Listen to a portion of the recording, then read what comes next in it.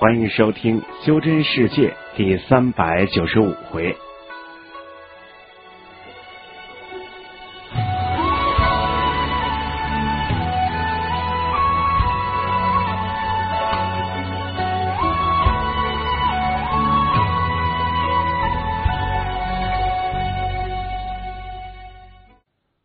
魏营有一个天生的缺陷，那就是速度。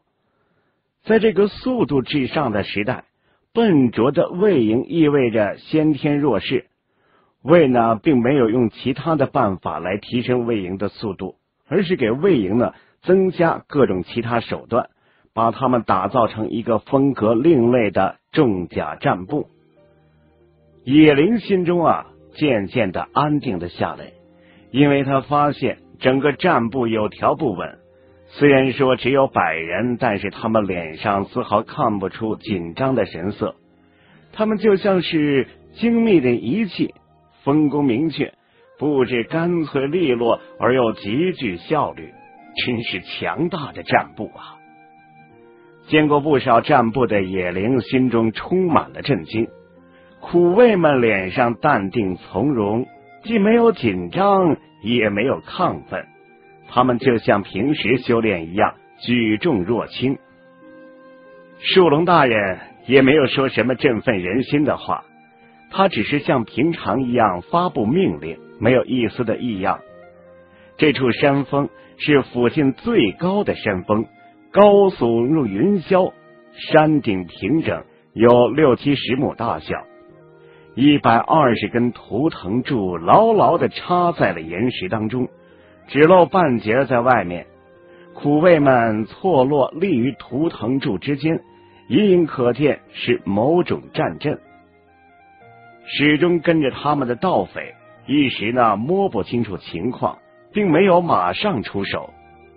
山龙团流传出来的消息已经传遍了整个山达界。当大阵布置完成，树龙悠然的眸子悄然的涌上了几分炽热的战意。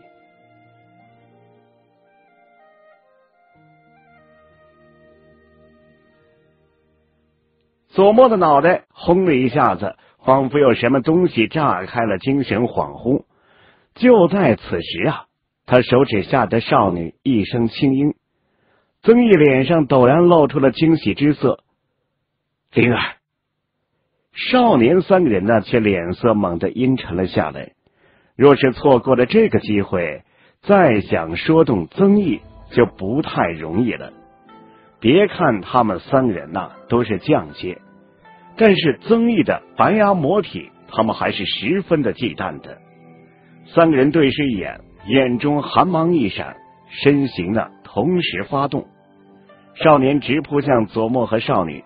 试图拿下少女做人质，而瘦子和胖子则同时扑向了曾毅。三人动作的一瞬间，曾毅便察觉了，他惊怒暴喝一声：“哼，找死！”姓黄色的蛇童猛地化作灰白，依然不惧朝两人杀去。他的右手微扬，不知道什么时候早就灰白一片。一声极细的笑音。仿佛从幽深地狱窜上来呀！胖子和瘦子两人脸色一变，只见胖子一声暴喝，棕红色的魔纹浮现，一层层无形的波动如同涟漪一般扩散开来。瘦子食指如钩如爪啊，闪耀着乌黑有如金属的光泽，暗绿色的魔纹如同无数细藤紧紧缠着他的双臂。曾毅扬起右手，碰上了荡开的无形的涟漪，没有一丝停顿，有如利刃破冰。一层又一层，数十层涟漪竟然没有挡住曾毅灰白手掌分毫啊！胖子脸色大变，曾毅的实力大大出乎了他的意料。危急关头，瘦子的食指夹带着惊人的笑音呐，如同十道利刃，恰好杀到。曾毅灰白的瞳仁没有一丝情感波动，如同死物一般。右掌没有丝毫闪避的意思，是迎面而上。瘦子脸上浮起了一抹狠辣之色，全身魔功催动到了极致。暗绿色的魔纹猛地光芒暴涨，幽绿幽绿的光芒呢，在空中掠过了耀眼的光痕。双方没有花巧的撞在了一起，轰的一声，耀眼的绿光瞬间照亮了院落，赤亮的光芒如针一般刺眼。就在这团耀眼光芒之中，夹杂着一声微不可闻的“啪”的破碎之声，光芒毫无征兆的消失不见了。瘦子脸上浮现了几分痛苦之色，他的右手手指啊，赫然断了三根。胖子脸上立刻现出了惊恐之色，但是他反应极快啊，立即高喊：“住手！”曾界主，跪千金。胖子以平生最快的语速吐出这几个字，曾毅灰白的眸子猛地一动，少年呐。根本就没看左墨一眼，他的眼中呢只有少女。身后传来的剧烈爆音，还有胖子的闷哼之声，让他的神经高度的紧绷。他知道他们的行动啊，已经和曾毅撕破了脸皮。以曾毅的脾气，若是没有得手，那是绝对不死不休的。曾毅虽然说声名不显，但是他绝对不会轻视他。若不是宇帅有事儿没办法亲来，否则的话，这次的事情也绝对轮不到他。出于谨慎呢，他特意带上了两枚镜戒，但是没有想到这两名降阶一碰上曾毅就土崩瓦解了，一照面一退一伤。白牙魔体那果然是名不虚传呐。他虽然身具龙族血脉，但是刚刚踏入降阶不久，绝对不是。曾毅的对手，眼下唯一的机会就是曾毅的女儿，那个昏迷不醒的女人。只有趁他呀没有清醒之前劫持他，这才能够啊让曾毅投鼠忌器，也才能够压迫曾毅低头。他用尽全部的力量，身形如电。这一刻，他的头脑呢异常的清晰。当少女的脸庞映入他的视野。那张精致妩媚的脸庞进入他的眼睛，一瞬间，他差点忘记呼吸。长长的睫毛轻轻的颤动，微微皱起的弯眉，仿佛正在承受着什么痛苦。畅听网每日内容持续更新，超酷声音尽在畅听网，三 w 点听八五点 com。在这张无瑕的脸庞。让人不由自主的心生涟漪啊！高傲的少年心中某块地方仿佛瞬间柔软了。身后胖子的高呼让少年的一个机灵，从恍惚当中挣扎了出来。眼前这张美丽无瑕的脸庞，竟然有着难以言喻的魔力。少年强自压下了心中的颤动，一咬牙，用尽了全身的力量。右手猛地朝少女抓去，越来越近。少年心中瞬间充满了狂喜，成功就在眼前，只要抓到少女，就能够反败为胜。他的右手呢，碰触到少女的粉颈，他甚至能够感觉到手指尖端传来的柔软滑腻。成了！就在此时，忽然。少女长长的睫毛轻轻一颤，缓缓睁开了眼睛。少女的眼睛啊，就像打磨光滑的黑曜石，幽深不见底。一瞬间，那张精致妩媚的脸庞，好像是瞬间呢，有了生命的气息，活了过来。难以形容的美丽啊，说不出来的气质。但是呢，它就像一条在黑暗中的毒蛇，悄然无息的。便钻进了少年的心里边，少年神情瞬间迷茫，手不由自主的停在少女雪白的粉颈上。我叫莲儿。少女悠悠的声音好像从风幔中传来，飘忽不定。动手！胖子焦急无比。少年的置若罔闻，身体一动不动。无数血箭。突然毫无征兆的从少年身上喷出，少年仰面而倒。胖子和瘦子的神情僵在了脸上，他们不能置信的看着眼前让人无法理解的一幕。他们没有看到少女有任何的动作，没有察觉到任何力量波动。他们呀，什么都没有察觉到。他们很清楚少年实力，年纪轻轻便晋升降阶，用不了多久就能唤醒体内龙之血脉，前途不可限量。哪怕是现在，少年的实力呢，也在他们两个人之上。竟然，竟然死了！他们就像是见鬼一般，眼前的这一幕啊，太诡异，超出了他们的理解范畴。我叫莲儿，少女悠悠的对左墨说道，那张美艳至极的脸庞带着惹人爱怜的味道。左墨置若罔闻，他一动不动。少女合上了长长的睫毛，闭上眼睛，瞬间，无数破碎的画面呈现在了他的眼前。一颗珠子破碎，别忘，清脆的少女的声音充满了焦急和忧虑。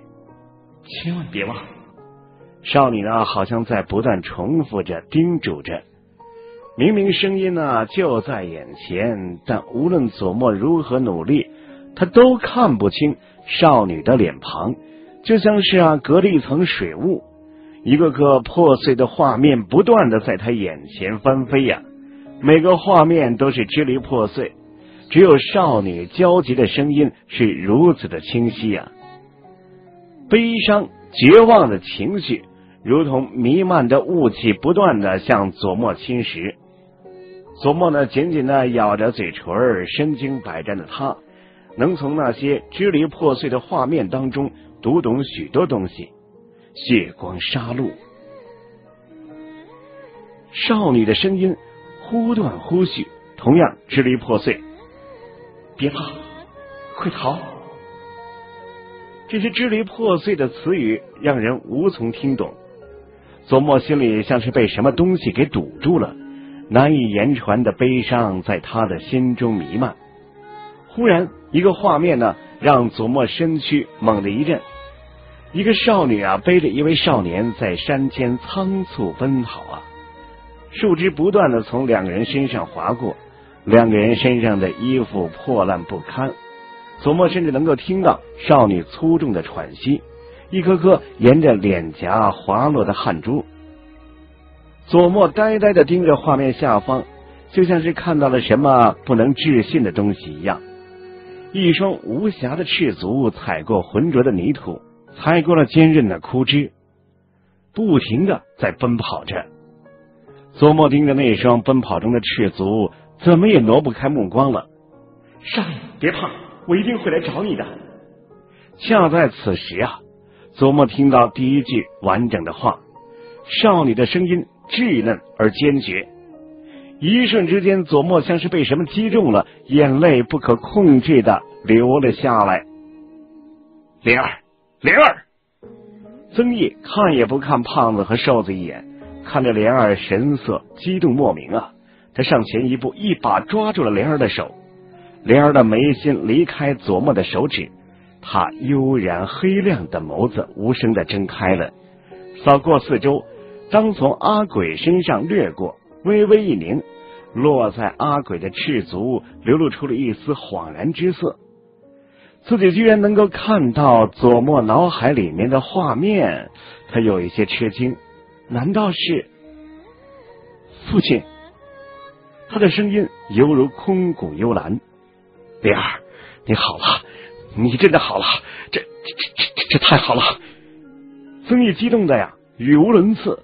而一旁的左墨在他的眼里就像空气。他救了我啊！我我一定会好好的奖励他的。他想要什么都行啊！曾毅连连点头，脸上带着抑制不住的喜色，但是目光啊依然是舍不得离开女儿。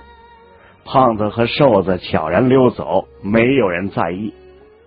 左墨睁开眼睛，他第一眼就是寻找阿鬼。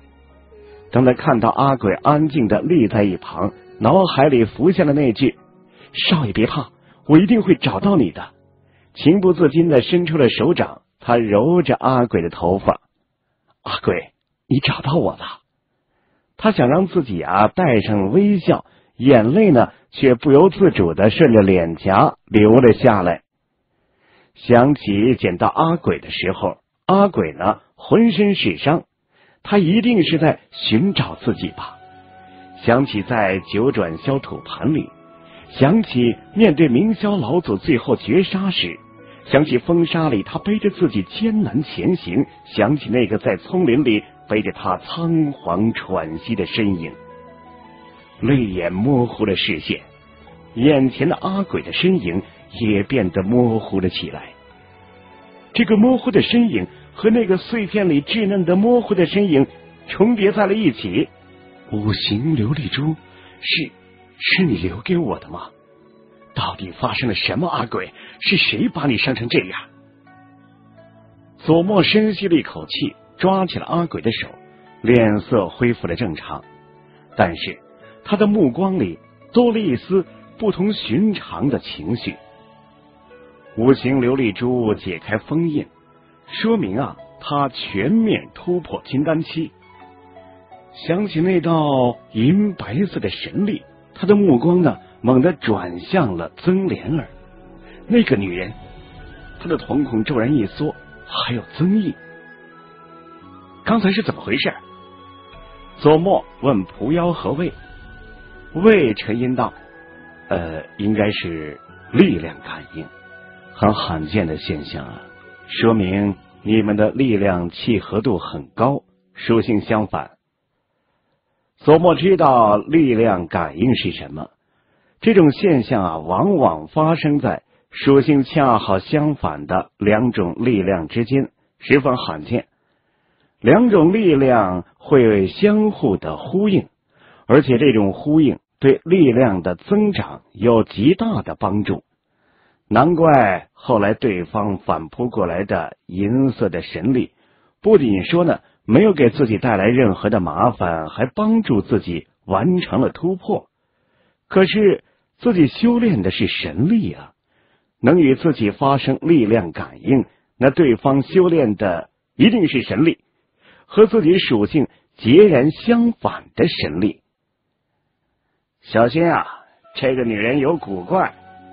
狐妖提醒着左墨，其实不用狐妖提醒，左墨也知道对方有古怪。到现在为止，左墨见过修炼神力的只有三个人，一个是他，一个是阿鬼，一个就是眼前的这个曾莲儿的。这个女人他看不透，不过也不需要看透。左墨这么想着，突破之后。原本啊想找曾毅麻烦的心思也淡了下来，而且自己的突破也有对方的帮助成分在内。左墨现在的心里边全是阿鬼，五行琉璃珠里封存的记忆碎片给他带来了太大的冲击。他现在啊只想找个地方好好的冷静一下。二话不说，他抓起了阿鬼，冲天而起。刚才曾莲儿和曾毅的对话，他听在耳中，他不用担心卡卓会遇到什么麻烦。嗯，曾毅抬头有些惊讶，左墨表现出来的实力超出了他的意料。让他们走吧，曾莲儿恰如其时的开口说道：“好，听莲儿的。”曾毅宠溺的说道，旋即收回了目光。这帮家伙想干什么呀？戳在这儿到底是啥意思呀？一名盗匪有些不解。逃不掉了呗，负隅顽抗而已。独眼老大一句话，乖乖，这阵仗不要说一百人，就是一千人也得交代在这儿。说的是啊，真是杀鸡用牛刀。我先前听山龙团那帮人吹的是神乎其神，我还以为多少人呢，一百个！哎呦，给大家塞牙缝还够吗？别废话了，才一百个人怎么分呢？得了吧，先下手为强，名额可只有一个，有道理，有道理。一群盗匪呼啦啦的便朝山峰冲去。他们这个动作立即引发了连锁反应，其他盗匪见状也毫不犹豫的急冲而来了。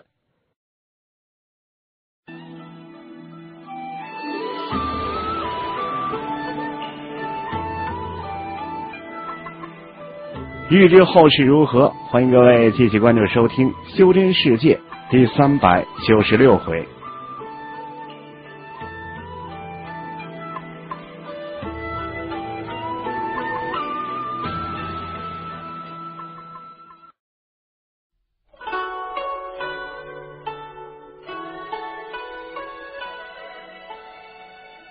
欢迎收听《修真世界》第三百九十六回。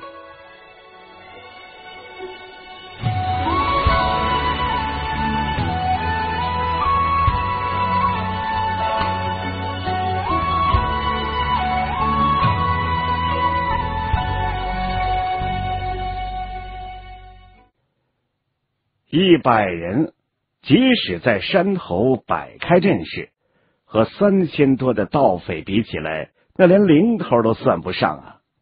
蜂拥而至的盗匪就像海啸一般排山倒海、遮天蔽日、呼啸冲来呀！树龙眼中强自压抑的战意，此时失去了所有的束缚，如同喷涌而出的怒焰，轰然燃烧了起来。开！一百零八根图腾柱忽然冒出了滚滚的黑烟，黑烟见风暴涨，转眼之间便如一团巨大的乌云，笼罩了整个山头。唯恐落后的盗匪啊，一头扎入到了乌云之中。图腾柱喷出来的黑焰翻腾不休，他们宛如有生命一般变幻不定。忽然。一根图腾柱周围的黑烟不断的变浓，幻化成了人形。一个个由黑烟幻化而成的人形出现在图腾柱上空。魔绞盘，如果一名魔族的黄金战将看到这个战阵，一定会惊呼的。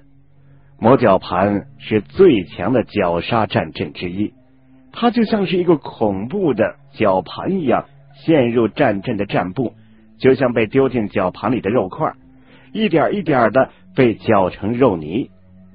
当年死在魔绞盘的修者是不计其数，只是随着那场千年之战，魔绞盘失传已久，再也没有出现过了。而此时，曾经最强绞杀战阵之一的魔绞盘，却出现在这么一个小小的山头，虽然只有一百人。杀！滚滚黑烟当中，树龙暴喝，如同回荡在天际的雷霆。战阵运转，如同绞盘轰然转动。左墨一言不发的看着阿鬼，阿鬼坐在他身旁，神情木然。当看到阿鬼木然的表情，左墨心中隐隐作痛啊！阿鬼体内的神力太诡异了。左墨呀，探索不到阿鬼的任何的想法，他的脑海里边空荡荡的，什么也没有。左墨记得阿鬼最有灵性的时候，是他受伤神力全失的时候。神力，那种令人心悸的冰冷的虚无。左墨心中一痛。仆喂，你们有什么办法没有？左墨沉声问道。仆妖和卫都陷入到了沉默当中。左墨也知道这个问题啊，有点为难他们。蒲妖和卫虽然说对修炼懂得很多，但是对神力呢，却并不比他知道的更多。若是阿鬼能说话，那就好了呀。左墨喃喃自语：若是阿鬼能说话，那他就能够告诉自己一切了。左墨知道这只是痴心妄想，他强自让自己冷静下来。仔细的回忆那些碎片里的每个细节，他立即啊有许多的发现。阿鬼称呼自己少爷，这个称呼呢就透露出了许多的信息。自己只怕呀不是寻常人家出身。阿鬼背着自己逃命，还有那些充满血腥和杀戮的碎片，只怕自己家呀已经遭遇不测。谁干的呢？为什么呀？阿鬼身上的神力是从哪来的？谁给自己抹石改容的？无数的谜团迎面扑来，压得左墨呀几乎喘不过气来。冷静，一定要冷静。左墨死死的咬住了嘴唇，竭力的呢让自己保持冷静。但是他抱起的青筋显示他此时心中的激荡。偏偏呀，阿鬼身上的神力成了最大的阻碍。这种神力古怪的很，索梦根本没有办法驱逐的。就在此时，狐妖忽然开口了：“记得我和你说过的素影魂丝草吗？”左墨一愣，皱着眉头想了半天，点了点头：“哦，记得。你说素影魂丝草能够找到我记忆的碎片？对，阿鬼的记忆受到了破坏，神魂受伤，而且啊。”我怀疑他神魂受伤呢，和他修炼的神力有关系。但是如果你要弄清楚这些，不一定非要在阿鬼身上着手啊。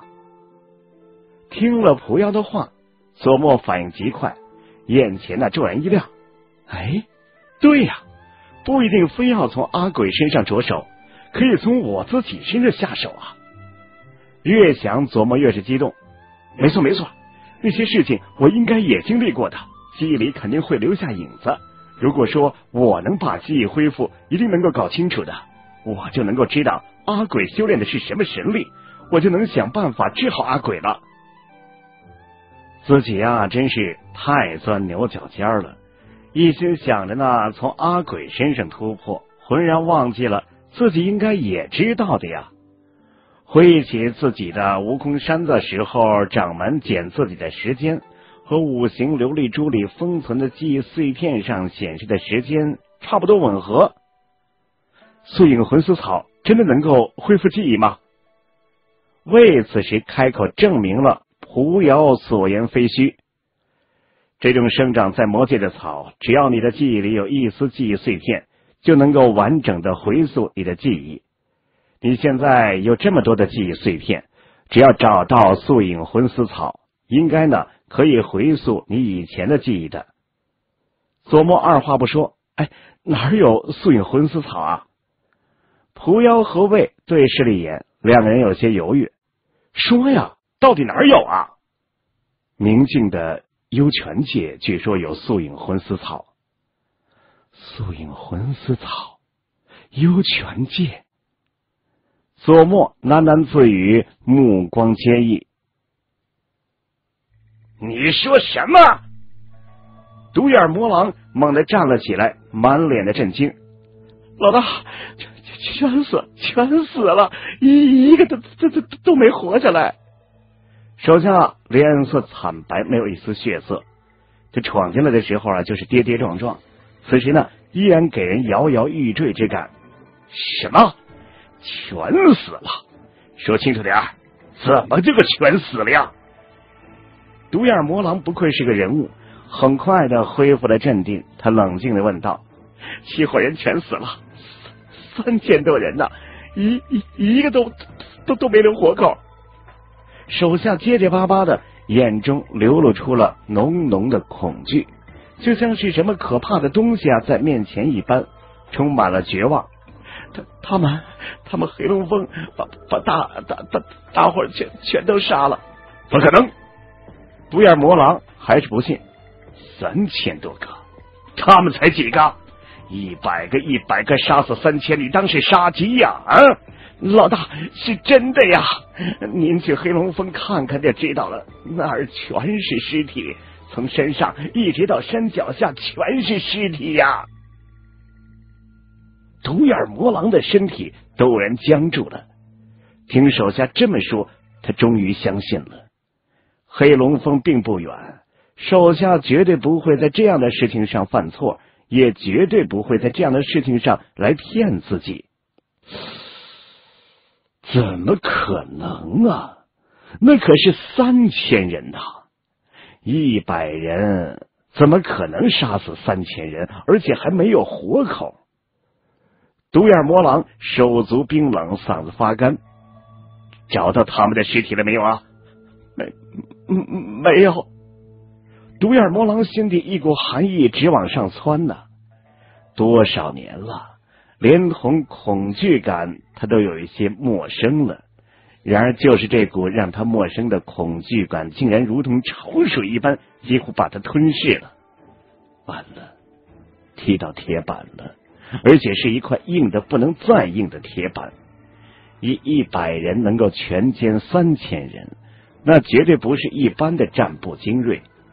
在独眼魔狼这么多年的劫掠生涯里边，他从来都没有见过，也没有听说过这么强大的战部。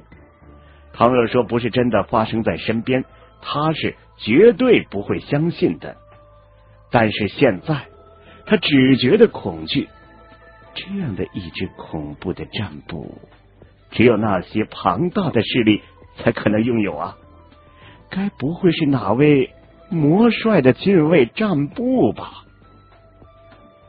独眼魔狼竭力让自己保持平静，但是他的两腿却不由自主的颤抖了起来。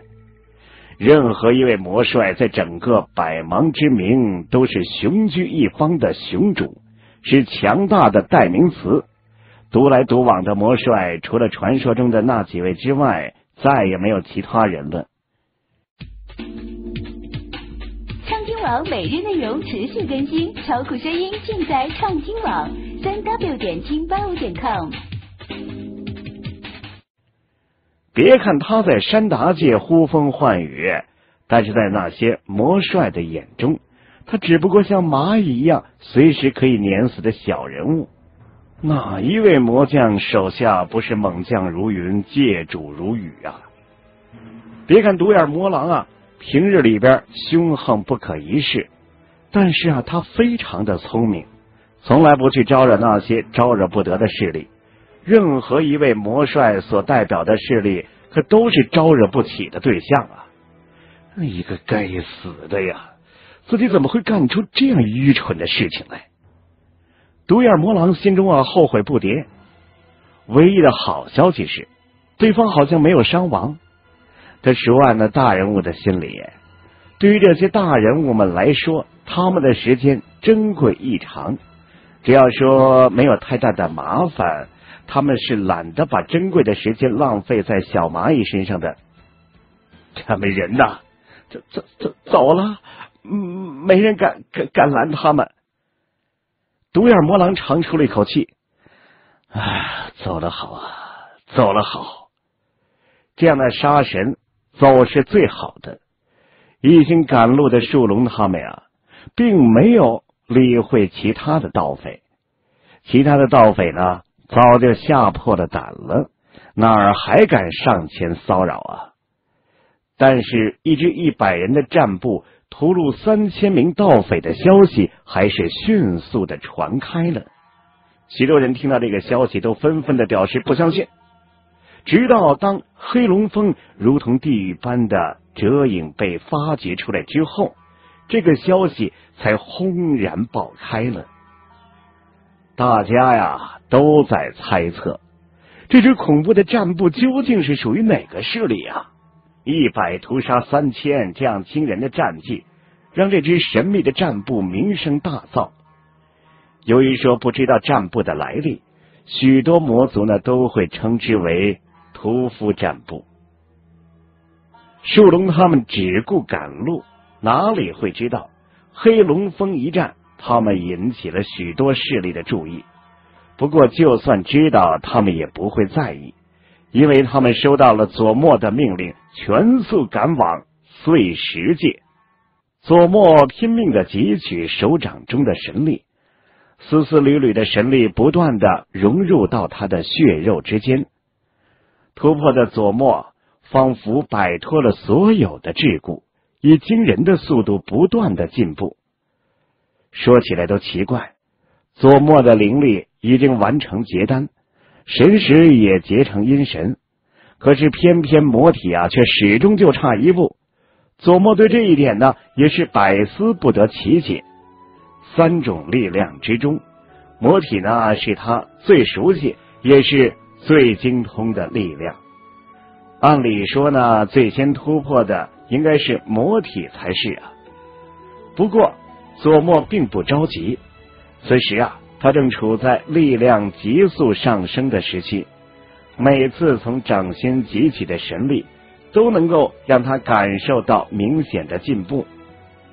佐莫无暇呀，去修炼其他，只是一味的汲取神力，炼化神力。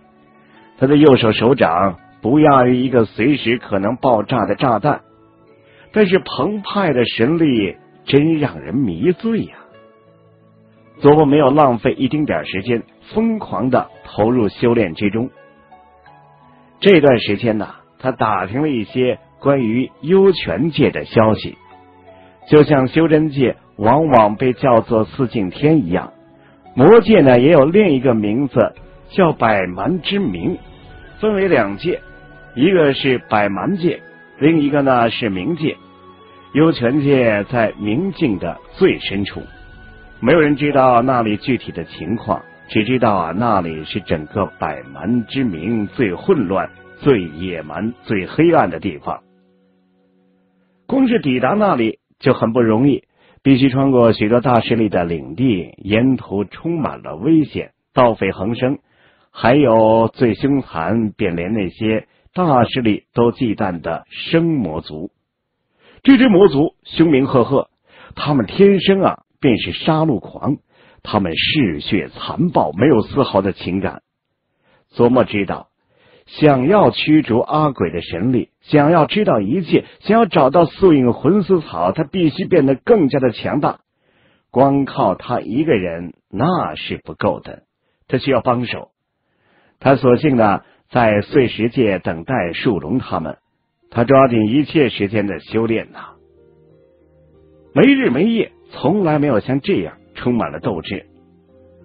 阿鬼在他的身旁安静的坐着。和往常一样，佐莫开始修炼，但是很快的，他便察觉到体内不同寻常的异动。太阳精种滴溜溜的转动，火焰层层涌动，青藤玄水也释放出了淡淡的光芒，温和而清凉。让佐莫感到惊讶的是，连定破神光啊，似乎也变得不安分了起来。如同一尾斑斓的游鱼，灵活至极的在他的体内流转不休。所有的迹象都表明啊，似乎呢有什么不同寻常的事情要发生了。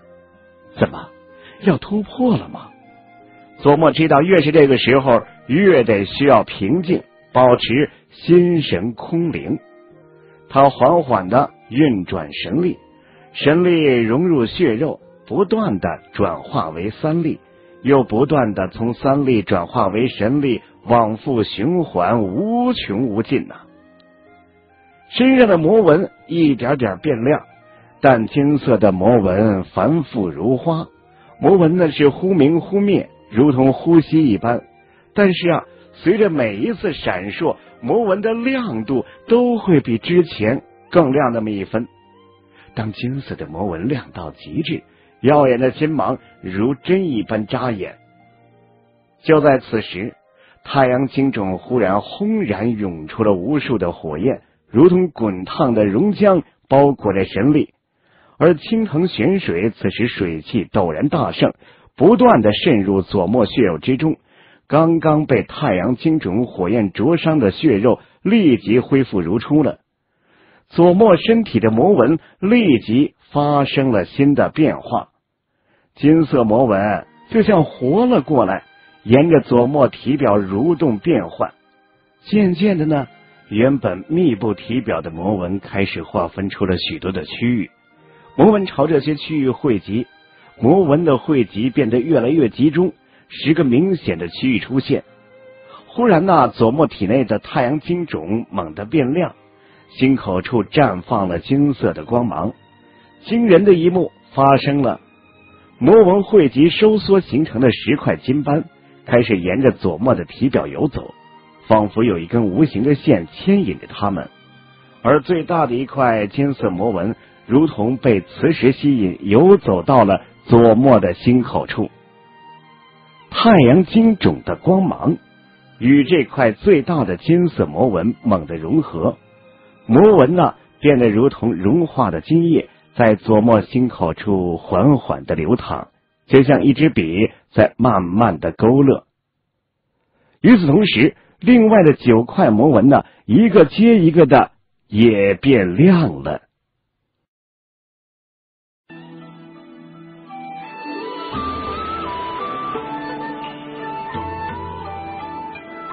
欲知后事如何，欢迎各位继续关注收听《修真世界》第三百九十七回。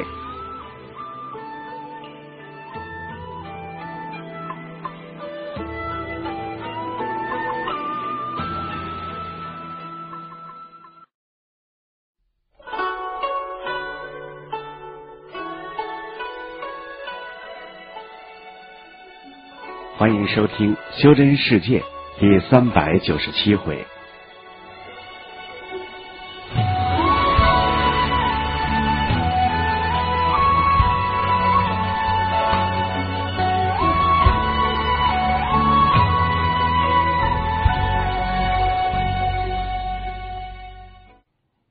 耀眼的金色魔纹不断的融合变化，它们变得越来越圆。很快的，十块魔纹呢变成了十个完美的圆形魔纹，就像是十个太阳。十颗太阳，错落有致的分布，琢磨浑身各个部位。只见十颗太阳猛然大放光芒，黑夜照得有如白昼，天空的星辰黯然失色。就在此时，犹豫不定的定破神光。猛然一头扎入到了左墨心口的太阳魔纹，然后如同一根针一般，飞快的穿过了其他几颗太阳。只见一根根笔直的金线从十颗太阳中延伸了出来，与其他太阳相连。转眼之间呐，左墨的身上便多了几道纵横交错的金线，与十颗太阳连接一体。直到此时啊，魔纹的光芒呢，才仿佛消耗殆尽，暗淡了下来。佐墨睁开了眼睛，他的眼珠完全的变成了淡金色，瞳孔里边呢，隐约可见交错纵横的金线，额头一道金色的太阳魔纹，霸气四溢。啊，这是！佐墨呆呆的看着手掌中的太阳魔纹。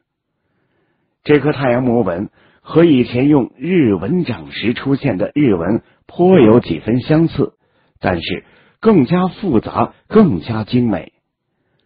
十颗太阳，最大的在心口，最小的在眉心。每只手掌、脚掌各有一颗，丹田一颗，背上有三颗。琢磨知道自己肯定是突破了，只是好奇怪的感觉呀。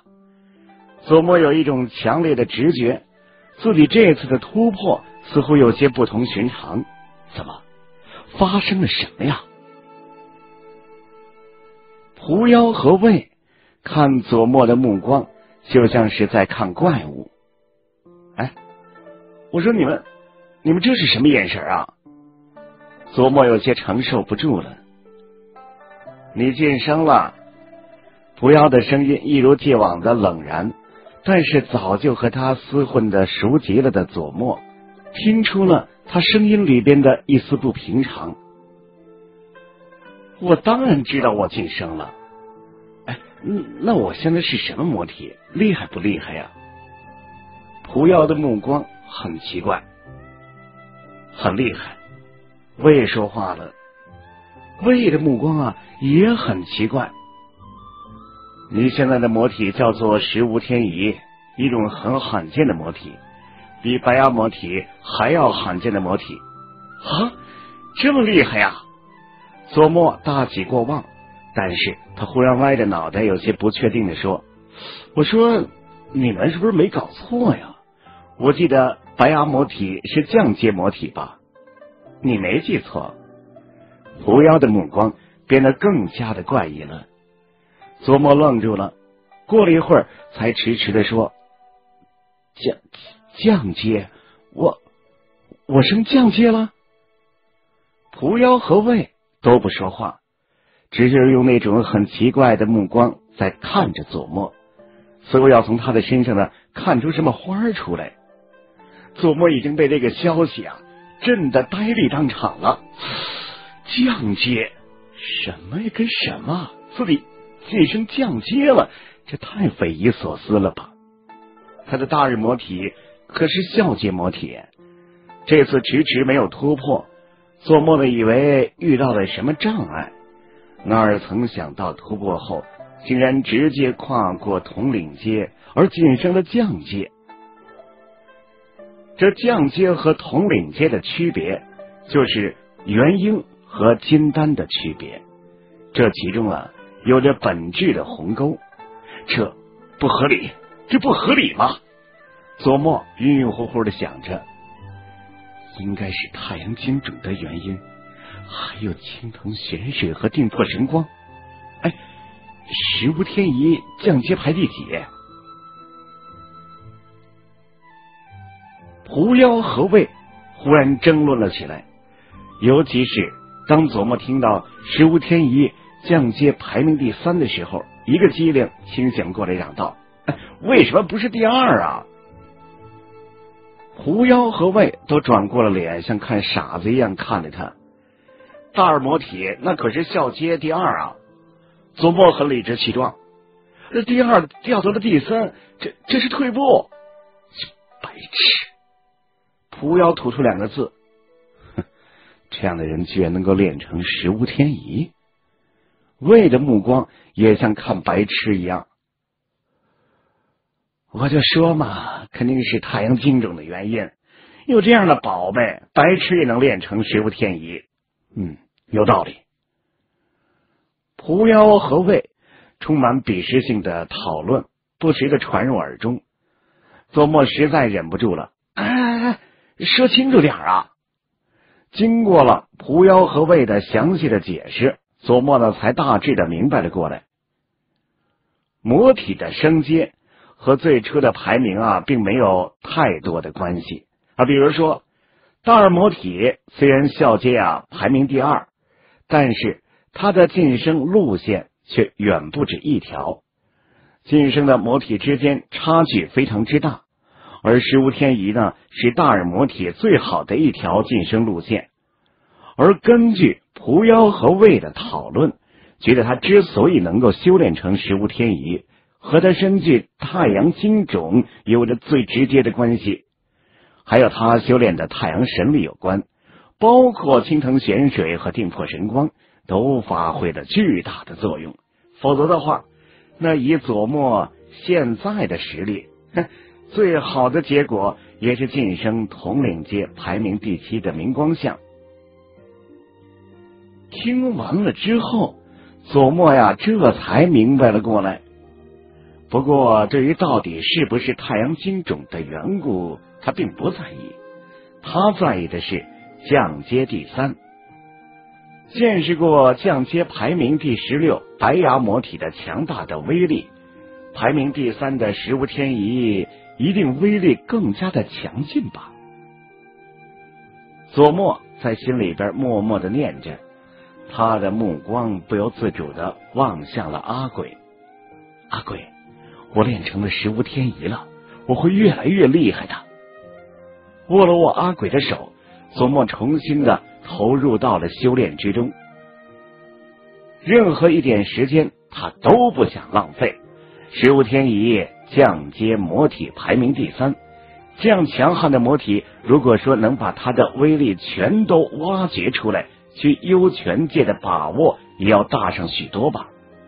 左墨默默的想着，看着疯狂修炼的左墨，狐妖和魏齐齐默默无语。哼，他很拼命啊。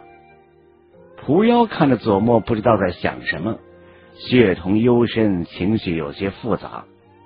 过了半天，他忽然开口：“我决定帮他，怎么帮啊？用尽一切去帮啊！蒲瑶抬起了头。你上次说的对，那笔账总是要算回来的。畅听网每日内容持续更新，超酷声音尽在畅听网，三 w 点清八五点 com。公孙躺在床上，望着天花板出神。左墨师兄把最近发生的一切都原原本本传了过来。没有一丝的隐瞒，他们几个人呢都看完了，谁也没有想到师兄的身世竟然是如此的离奇，如此的悲惨。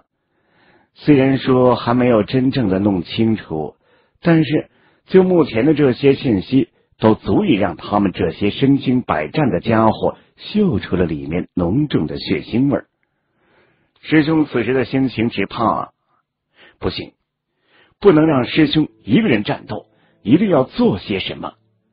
公孙猛地坐直，半晌之后，忽然那双有如邻家少年的清澈的眸子浮起了淡淡的笑意，眸子深处战意如凋零之花，纷纷洒洒，漫天飞扬。从来都是并肩作战的呀，百蛮之名，幽泉剑，真是充满了挑战性啊！战役。炽烈如炎，血液几近沸腾，但是小娘的心却是异常的冷静。他开始思索，如何才能实现？一定会有最合适的战斗方案。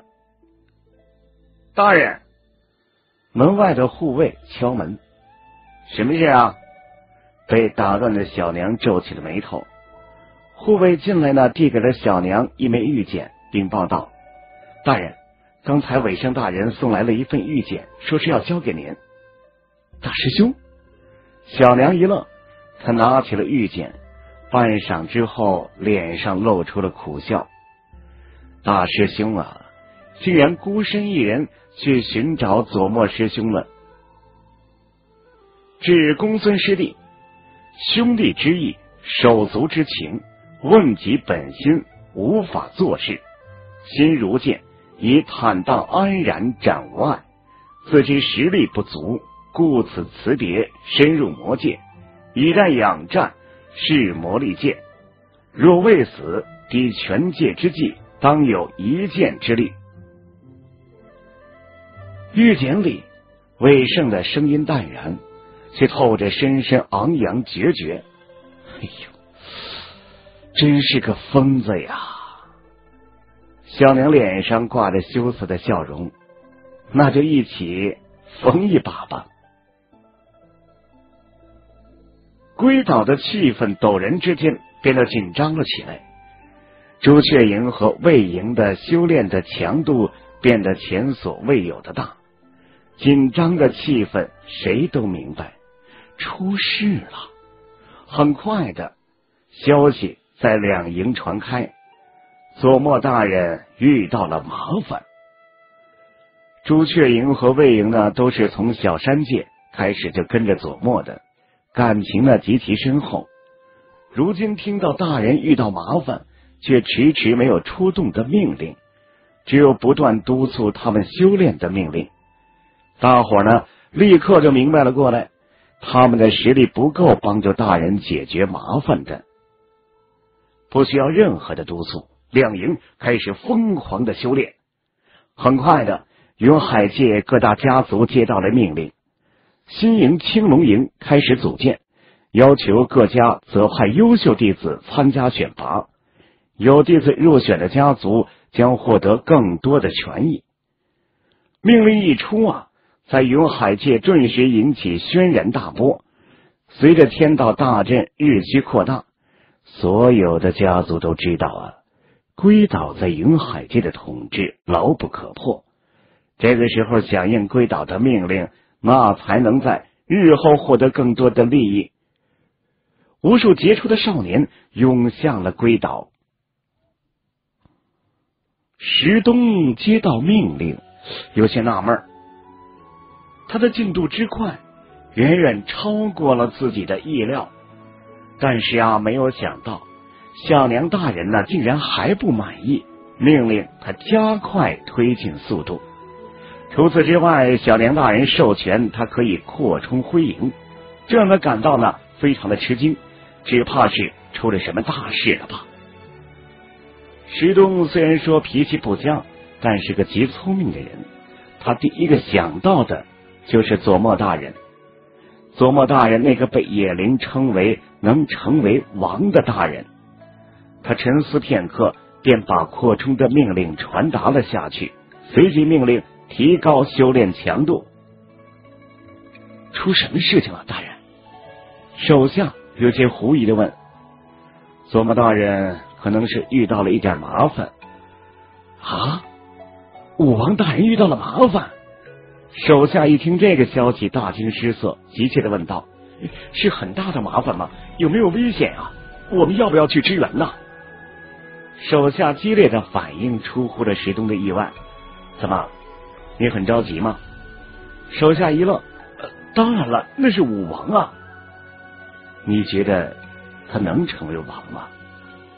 石东问出了他心中长久以来的疑惑：“一定能！”手下人呢？握紧了拳头，神情呢认真至极。我们都觉得能。这样啊，石东若有所思，手下也顾不得向他行礼，火烧屁股一般的向外冲去。他把这个消息以最快的速度传达下去。武王在上，这是大人传来的魔文，还有一些心得。孙宝大师傅看着下方的众人，神色严肃。呃，这段时间呢，所有的人呢，把手上的活儿都放下，专攻魔文。众人纷纷抬起了头，有些惊讶。要知道，虽然说金乌营的任务一直是颇为的繁重，但是氛围呀非常自由。两位大师傅根本呢就不怎么管，任由大家发挥。除了说在某些特定任务的时候才会集中大家的力量，出什么事情了呢？众人心头泛着疑惑。几位大师傅的神情也很严肃，他在给大家发意见。大师傅，出什么事了呀？所有人的目光啊，都集中在孙宝大师傅的身上。大人遇到了一些麻烦，需要咱们帮忙啊。下面一片死寂，半秒之后就轰然炸开了呀！什么？大人遇到了危险？该死的，那帮家伙玩忽职守啊！小梁大人呢？天哪，这不会是真的吧？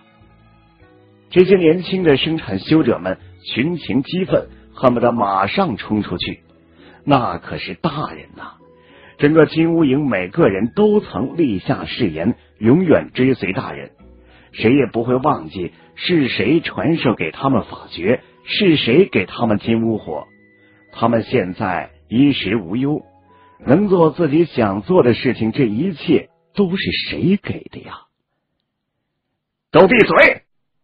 几位大师傅一声暴喝，顿时所有的人鸦雀无声了。孙宝大师傅脸上没有一丝的笑容。他的目光就似乎有一团火焰在跳动着。所有的人抓紧时间研究手上的玉简，里面是大人关于魔文各种参悟。时间，我们要在最短的时间弄懂所有的问题。下面每个人的眼中都似乎也跳动着一团火焰。然后我们开始篆刻魔文，这是一场战争。佐莫可并不知道龟岛呢正在发生的一切，他们疯狂忘我的修炼。以前佐莫呀并不执着于力量，对于野心并不大的他来说，力量不弱就能够活得不错。但是现在，他对力量的追求近乎偏执。他很清楚，无论是治好阿鬼，还是弄清楚他的身世。全都要建立在一个基础上，那就是力量，足够强大的力量。每天都不知疲倦一般沉浸在修炼之中，他在等待树龙他们前来。如果他打听的没错，幽泉界那样的地方，光靠他一个人那是不够的。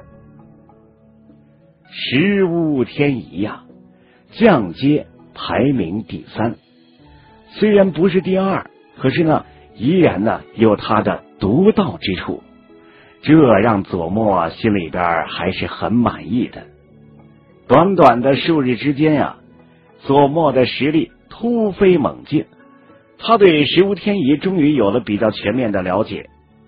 十无天仪，十个太阳错落分布在。他全身的各个部位，他们看上去呢，就更像精心雕刻的刺青，而不像魔纹。最显眼的是左墨额头处的太阳纹，比指甲略大，完美的圆形内是繁复精美的花纹，外圈有象征光芒的锐齿，并不耀眼的沉郁的暗金色。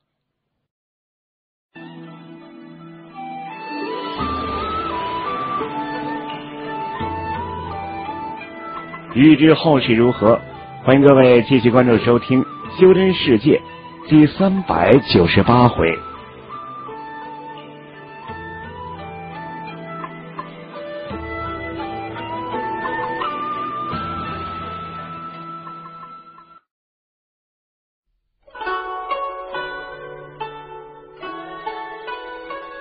欢迎收听《修真世界》第三百九十八回。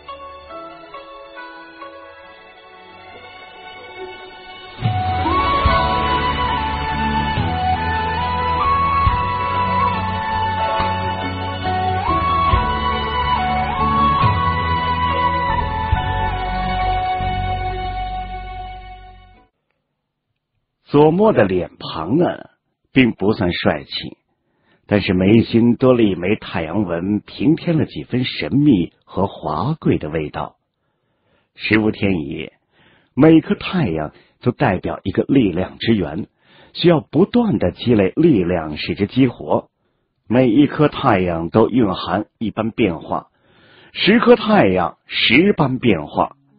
但据魏所言，自练成了十无天仪的魔。本就非常的少，而领悟十般变化的那就更加稀少了。十无天仪，每一般变化都威力极大，霸道不双。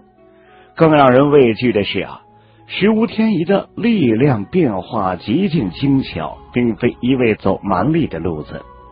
但是十无天仪最著名的却并非十般变化，而是有着降阶第一界之称的十无天界。一听这名头啊，琢磨就眼馋不已。可惜魏也不知道十无天界到底怎么才能领悟。界是元婴期修者、魔将、罗喉妖层次的强者开始接触到的力量。定真的灯火焚界便是，而韦胜能够金丹期触摸到界的门槛，天赋之强。令人瞠目结舌呀！见识过真的灯火凡界，左墨对界充满了向往。可是对于如何领悟界，魏也没有多说。那离左墨还是太遥远。虽然因为身怀至宝，左墨练成了十无天仪，但是如今呢，他的身体处在一个平衡状态。他之前突破的灵力和神识。如今啊，却成了拖后腿。左墨这些天拼命的炼化右手的神力，然后呢，转化为灵力和神识，以这种方式来强化食物天仪。原本左墨以为这种稳固需要很长的时间，然而让他没有想到的是，他只用了十天，便把灵力提升到元婴界。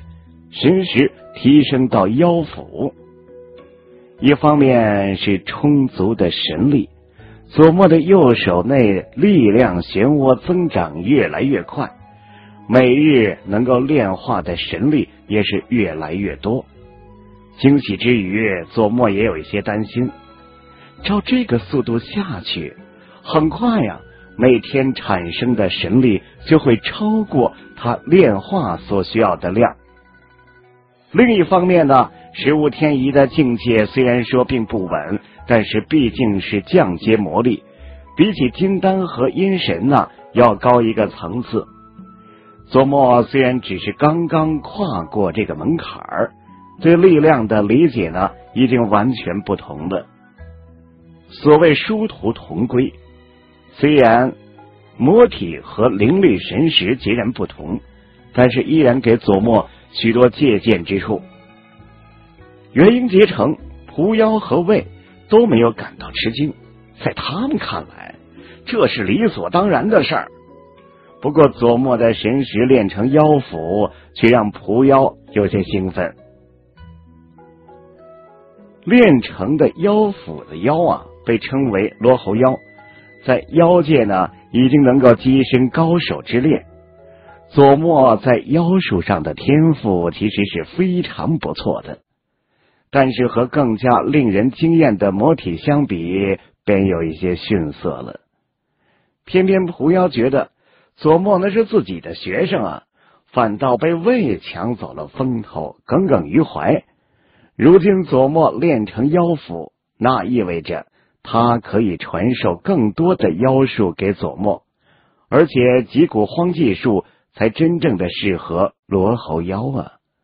不过蒲妖并没有说他在做一些事情。石指玉的角落。忽然多了一些奇怪的消息，这些消息用词古怪，语句不通，而且位置十分偏僻，不引人注意。可如果有心人发觉的话，一定会惊讶的发现，每一层石指玉都会有类似的消息。有用吗？魏问蒲妖道：“不知道。”蒲妖血童啊，目光悠然。时间太久了，不知道他们还记不记得死马当活马医。当年主人的支持者，不知道还剩下多少。我已经发出了血招。狐妖眼中闪烁着肆意的光芒，嘴角呢浮起了一抹冷笑。时间再厉害，他也会总留下点东西来吧。你打算让阿佐继承这一切？蒲妖却摇了摇头，他未必愿意继承啊。嗯，我们的看法很一致。不过呢，这个家伙需要力量。蒲妖的黑衣无风自动，他的声音也变得深沉了起来。他不了解自己啊，我们也没有真正的了解他。他的敌人只怕比他想象的多。他只有一条路。和我们当年很像啊！狐妖被喂这句话勾起了回忆，血瞳呢露出了缅怀之色，但是很快的便又恢复了平静。而且跟着他不亏啊，坚守千年而没有放弃的家族，理应重回荣光。不知道还能剩多少呢？狐妖也沉默不语，他心里其实啊也没底。佐墨猛地停下了修炼，他察觉到有人靠近了，身形一转，把阿鬼护在身后。两个身影如同幽灵一般出现在了不远处。啊，是你！左莫目光一凝，心中有些惊讶。夜色下，曾莲儿精致妩媚的脸庞多了几分神秘之感，如同黑曜石般的眼睛，带着难以言喻的光泽。亭亭玉立，他身旁呢还跟着一位女人，看装扮应该是他的侍女。他走到离左墨约五丈远的地方，就停下了脚步。怎么，你要去幽泉界吗？悠悠的声音顺风传来。一直没有降低警惕的左墨目光猛然一滞。你怎么知道？这里是碎石界。曾莲儿似乎啊没有看见左墨的防备，左墨明白过来，十有八九啊是自己打听素影魂丝草的消息，引起了曾毅他们的注意。眼前这个美丽的过分的女人呢，给他极强烈的危险感。虽然自己的突破有相当的部分要归在对方的头上，最后对方反哺过来的银色神力是他突破的关键之一。但是这个女人呢，她看不透。我修炼的是月亮神力。曾莲儿妩媚的脸庞浮起了几分迷茫，他扬起了脸，头顶的月亮猛地微微变亮，一束月华照在了他的脸庞上。长长的睫毛，温郁的嘴唇，精致无瑕的脸庞，在月华的映照之下，仿佛有着摄人心魄的力量。月亮神力，佐墨这才恍然大悟，难怪对方的神力啊会和自己的神力产生力量感应。我跟你去幽泉界，什么？你跟我去幽泉界？佐墨听到这句话。足足愣了许久，才反应了过来。他觉得很好笑，不是你这你这什么意思？你说什么呢？你跟我去幽泉界？是啊。曾莲儿的那双美眸只是平静的看着左墨。左墨听出对方语气当中的坚决，敛去了笑意，皱起了眉头。畅听网每日内容持续更新，炒股声音尽在畅听网，三 w 点听八五点 com。这个笑话，说实话不好笑，我和你不熟。曾莲儿的声音呢，极为的好听，犹如空谷。因为你修炼的是太阳神力，我修炼的是月亮神力。不懂？如果我们两个一起修炼的话，神力会增长的更快。左莫终于明白了过来。哦，你说的是力量感应，也叫双修，对你也有好处的。我不需要，因为你的右手吗？曾莲儿的眸子泛起了一丝笑意，但是佐莫可却并不觉得好笑啊。他心中凛然，对方对他的熟悉远远超乎了他的意料，竟然连他右手的力量漩涡都知道。这个女人，我对你没有恶意。你右手里面的力量漩涡越来越大，你能抽起的神力只是少数。等到膨胀到一定地步的时候，可就会失去控制了。双修就能够解决这个问题啊！佐墨摊开双手，那我凭什么相信你啊？因为你的神力唤醒的我，他在我体内留下烙印。你死了，我也活不了。我死了，你的神力也会崩溃的。哈，真变得太好了呀！双修就要开始，就决定了我们两个的命运。只要我催动神力，你就能够感应到的。说罢，曾莲儿周身的月华陡然大盛，左墨的脸色陡然大变，他体内在神力不受控制的移动。啊，这就是你所说的力量感应。你催动神力，我的神力也同样会有感应。曾莲儿的话钻入了佐墨的耳朵中。该死的！为了不让我自己某天突然莫名其妙的死去，我觉得我还是跟着你比较保险。曾莲儿看也不看佐莫一眼，缓缓走到一旁坐了下来。他的侍女呢也跟着跪坐一旁。眨眼间，面前便多了一个小木桌。一套精致的茶具，一个小炉，开始煮起茶。石海里，琢磨着急的问蒲妖和魏：“哎，这女人说的是真的吗？”魏解释道：“嗯，是真的。远古时代的双修往往同死共生啊！去他妈的同死共生吧！”左墨破口大骂，脸色奇差无比。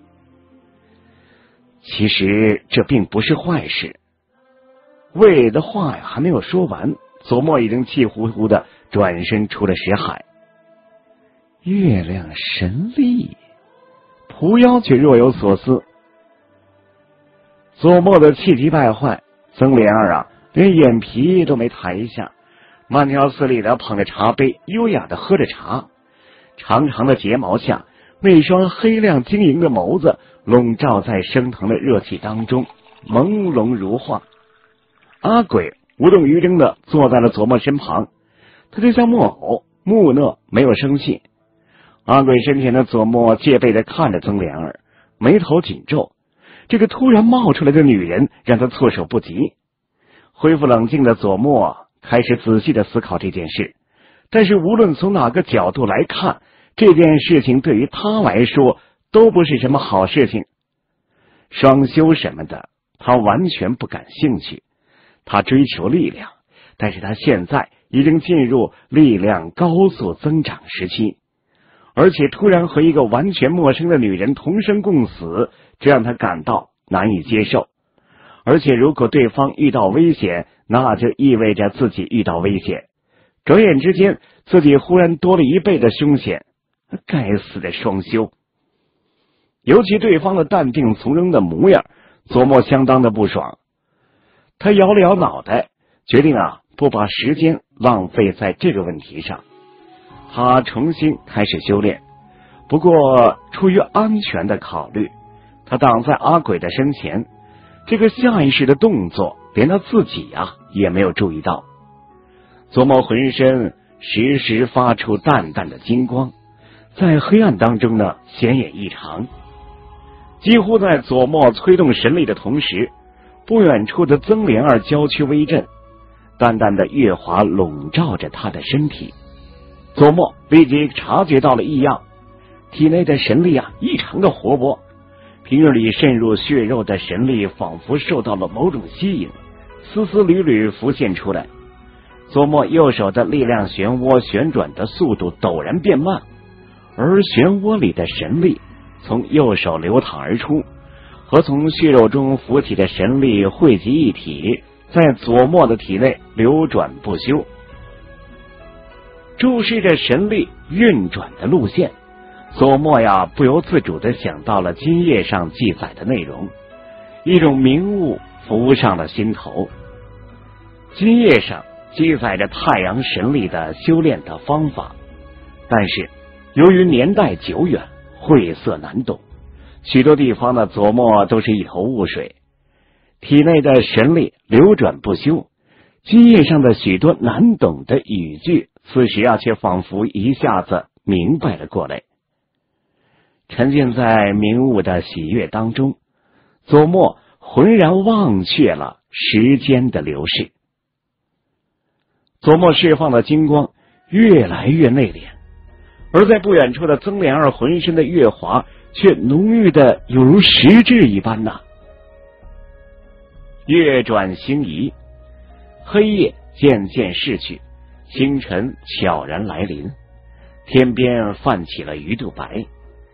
当太阳跳出地平线的一刹那，左墨身躯猛然一震，猛然放出了耀眼的金色的光芒，犹如太阳一般，与远处天边的太阳遥相呼应。轰的一声，左墨体内的太阳精种啊，忽然之间冒出了无数的火焰。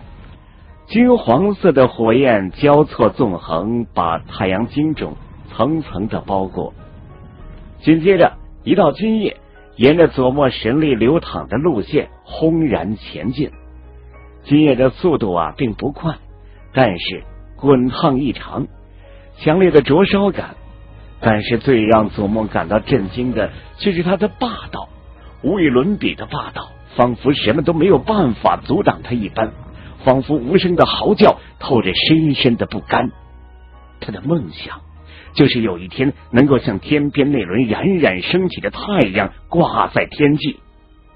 恍然之间，一幕幕奇异的画面出现在他的眼前。虚无黑暗当中，一缕天火孕育成型，随着岁月的推移，它不断的壮大，形成了一团火球。又过了数以百万年，它越来越壮大。壮大到几乎与真正的太阳相差无几的地步。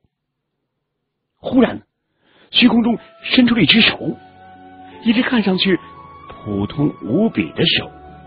这只手轻轻一抓，从来没有过的恐怖力量从四面八方疯狂的挤压而来。他庞大的身躯硬生生的被压缩成了太阳精种。不知道为什么，索莫陡然明白。明白他的不甘心，不能挂在天际的不甘。炽热的金液忽然钻入了左墨的心口处，左墨浑身一震呐，心口处几乎快燃烧了起来，心口处繁琐精致的太阳魔纹根根明亮耀眼。轰的一声，耀眼的金色的光芒从左墨的心口处猛然绽放，一股霸道浩瀚的力量瞬间充斥了左墨的身体。一瞬间，左墨有种藐视天下的错觉。就连那些雄伟的山川、漫无边际的戈壁，都在他的脚下。这股错觉来得快，去得也快。琢磨心口处的那颗太阳魔纹，竟然有如活过了一般的缓缓的旋转着。琢磨能够清晰的感受到，那股津液流入心口处，便化作了一团火球，是流转不休。前所未有的充盈感瞬间就传遍了全身子。时无天移，第一颗太阳成型了。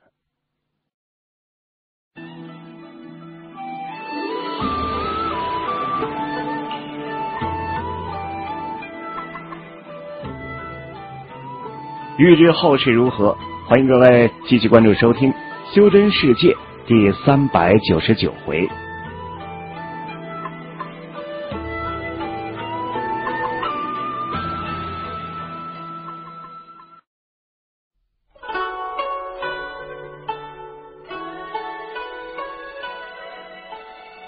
欢迎收听《修真世界》第三百九十九回。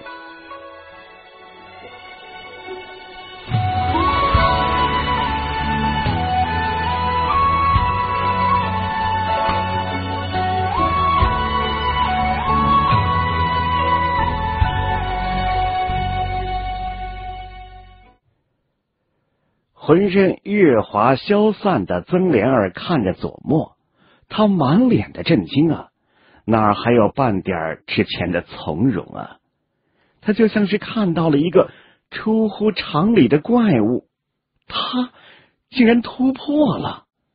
虽然说他没有办法察觉到左墨体内的变化，但是却可以清晰的察觉到左墨的实力上升到了一个全新的境界了。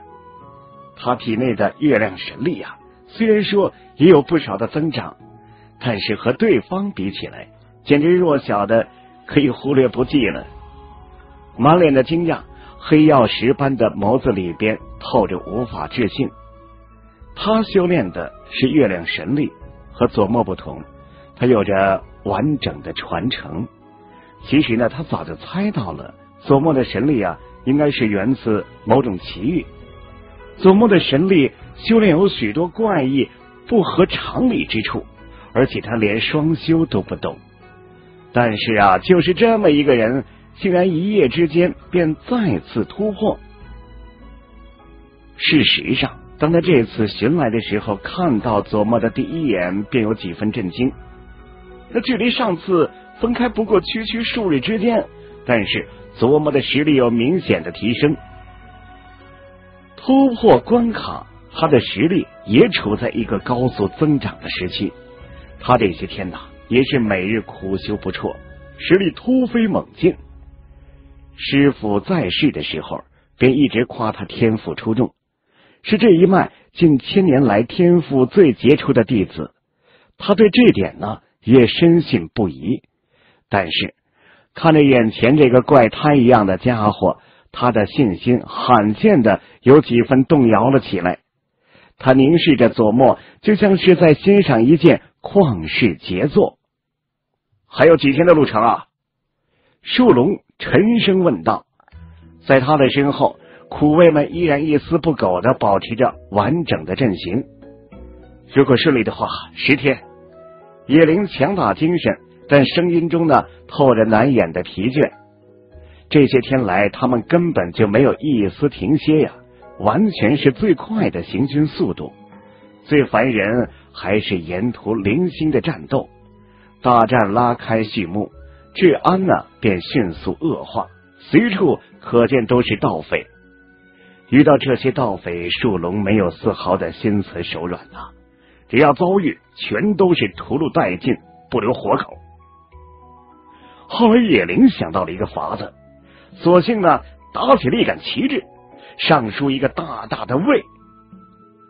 连续几场之后，屠夫魏营的名声迅速传播开来。尤其不知道是谁呀，发现树龙他们就是在山达界以一百屠戮三千盗匪的那支战部。这个消息顿时在这一带引起了轰动，这直接导致魏营所过之处盗匪绝迹，就连那些当地的势力也对这支可怕的百人战部视若不见，绝不主动盘问招惹。好在树龙他们行色匆匆。根本不做停留，有些人注意到这一点，便不由暗自猜测：魏营只怕身具特殊任务。于是，魏营的行军速度陡增。树龙对野灵这个主意赞不绝口啊！什么出风头之类，他完全不在意。他满脑子的全部是怎么才能尽快的和大人会合。十天。众人精神无不一振呐！这次奔袭路途之长，委实是魏营创建以来之最。途中跨过多少界，他们都不记得了。还好啊，这次野灵带足了魔贝，这是他们可以借助血池。魔族的血池，妖族妖门，就像修真界的传送阵。不过，同样的，那需要收费的，否则的话。光靠飞行，不知道要到哪年哪月呀？南岳、苍泽几个人呢，神色之间也透着疲倦。不过比起以前，多了几分刚毅。他们几个修炼的本来就是非常厉害的妖术，这番实战对于他们帮助极大，水平和之前判若两人。再过十天就能见到大人，所有的人都感觉到浑身充满了干劲儿。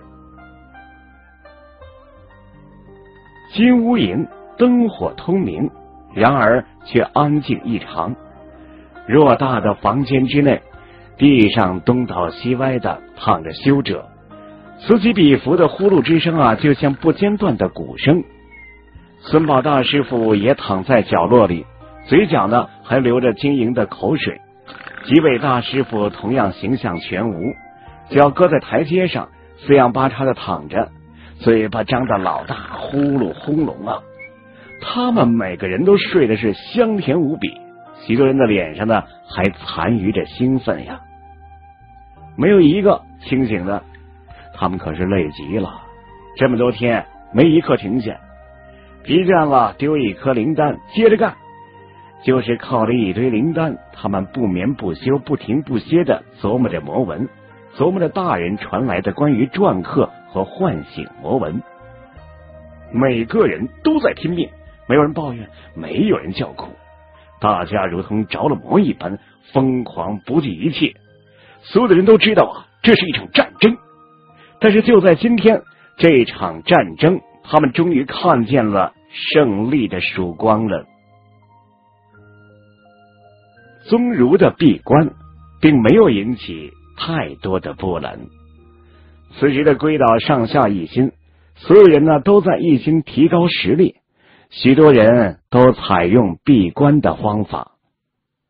轻轻合上石板，外面最后一丝光线消失在了眼前，山洞内是一片黑暗，但是宗儒心中却平静异常。谁也不知道，他这次闭关闭的是死关。所谓死关呐，是一种。极其凶险的闭关，闭关这段时间，纷扰心脏比平时平增数十倍，稍有不慎便陷入魔障之中，是神魂俱灭啊！但是宗儒心中没有一丝的恐惧，他就像往常一般盘起腿，像往常一样念诵经文。当年他弃佛死愿，发下了誓愿，以金刚身。护佑大人左右，这如今大人遇到了更大的麻烦，自己的实力却没有办法帮助到大人。黑暗当中，宗儒的神色呢古井不波，没有犹豫，没有忐忑只有平静因为这是他发下的誓愿。水月这几天怎么过？一位朋友大声的嚷道他能怎么过？你为谁见过他出去玩啊？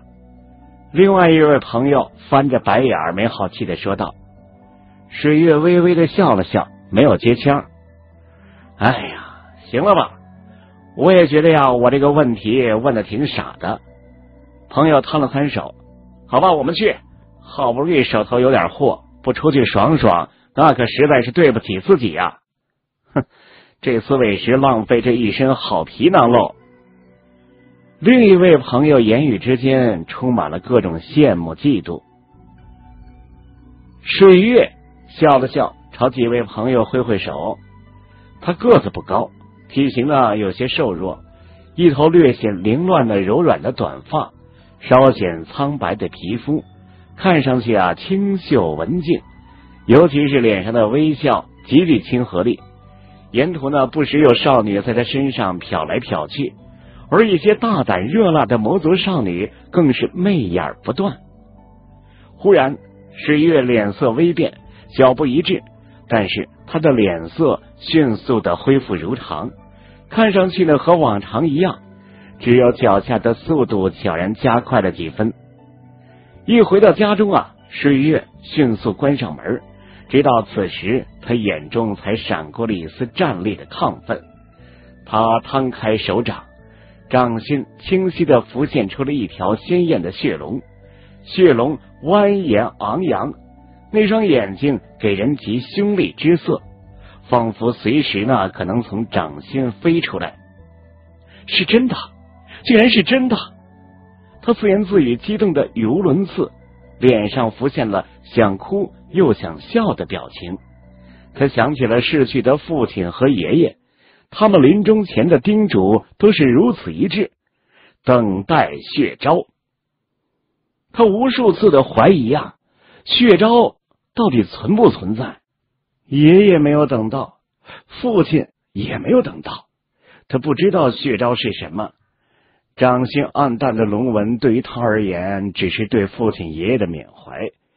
血招只存在于他内心深处的一个角落，一个早已经被他忽略的角落。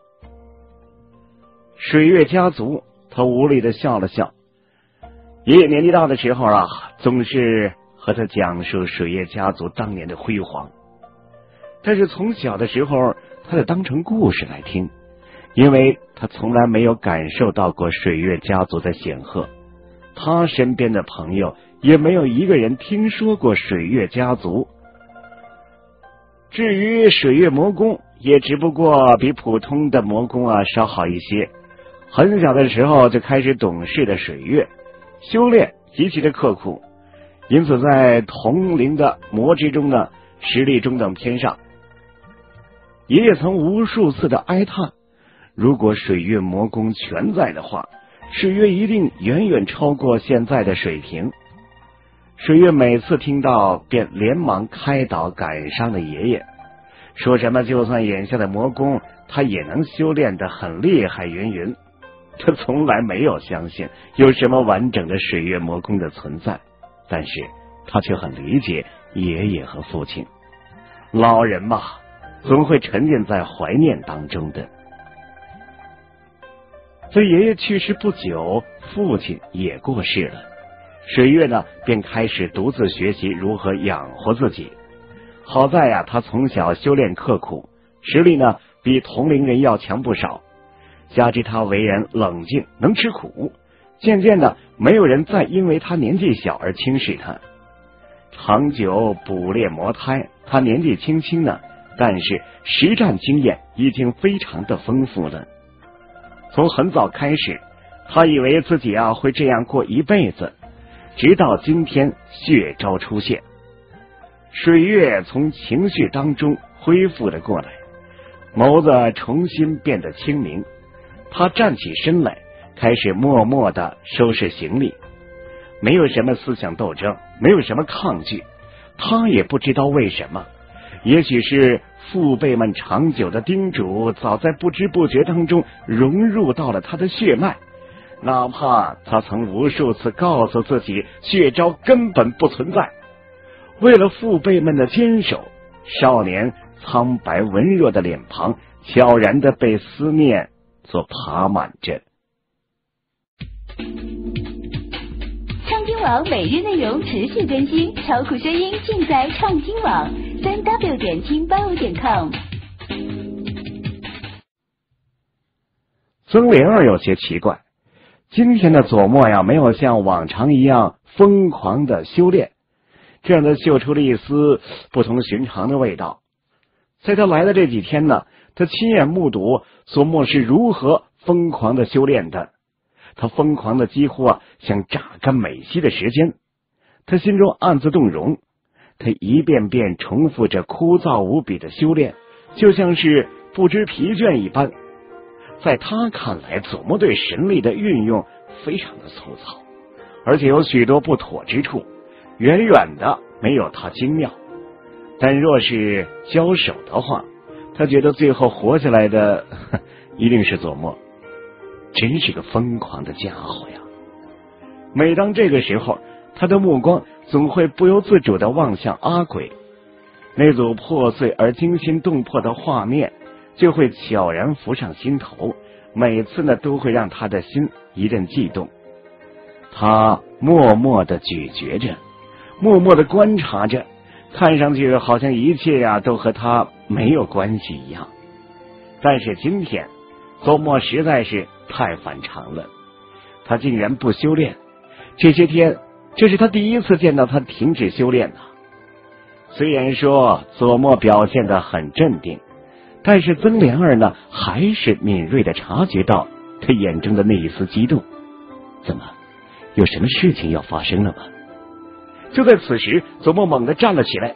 几乎同时，天空远处忽然出现了一群小黑点儿。啊，那是曾莲儿心中微震呐，美眸盯着小黑点儿，脸上虽然说强自保持镇定，可是心中的惊讶却在急剧的变大。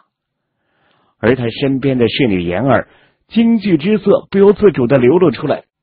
一支战步，曾莲儿的眼睛非常的锐利。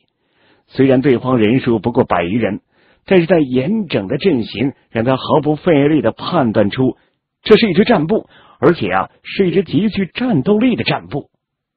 一面黑色的旗帜竖在队伍前方，上书一个大大的“魏”。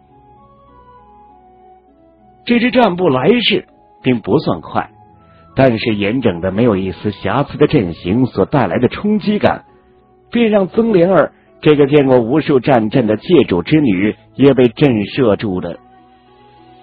对方注意到他们，队形猛然一反，犹如闻到了腥味的鲨鱼。整个战部毫无征兆的加速，狂野的笑音骤然而起，犹如无数的野兽嘶鸣，轰然俯冲啊！曾莲儿袖子里的拳头不由自主的一紧，他感觉就像是有一根。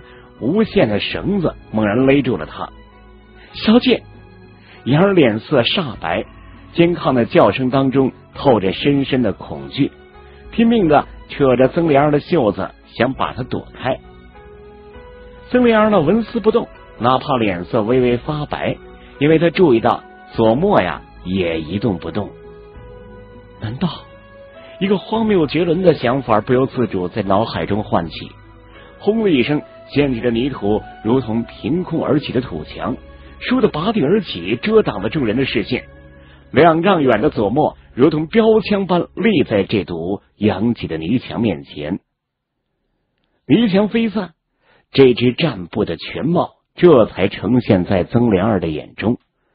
曾连儿脑海里面冒出第一个词就是“百战之师”啊！这支不过百人的小队。每个人的战力在他的眼中一览无遗，实在不值一提。但当这支风尘仆仆的队伍出现在他面前，他却没有办法忽视他的存在。他们浑然一体，战阵森然，就像时刻准备杀戮的机器。大人，许多人的声音沙哑，每个人脸上都是神色振奋、士气高昂。他们的目光齐刷刷的盯着左墨。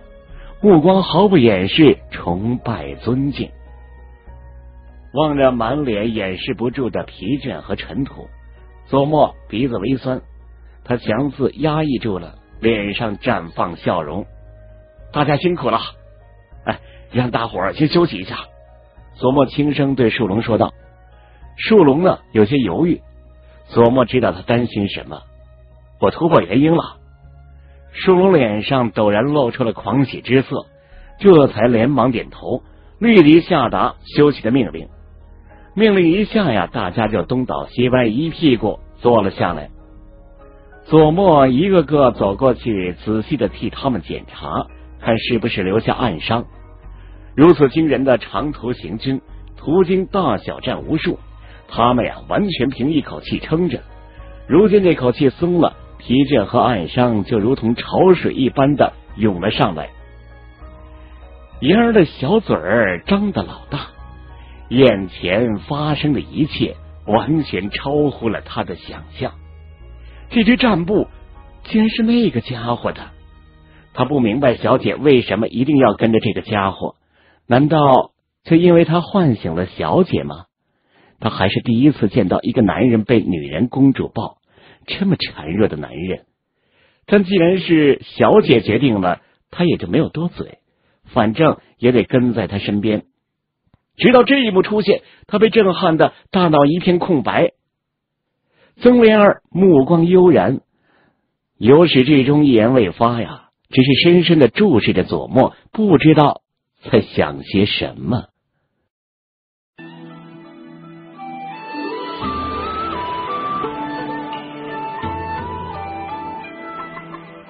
欲知后事如何，欢迎各位继续关注收听《修真世界》第四百回。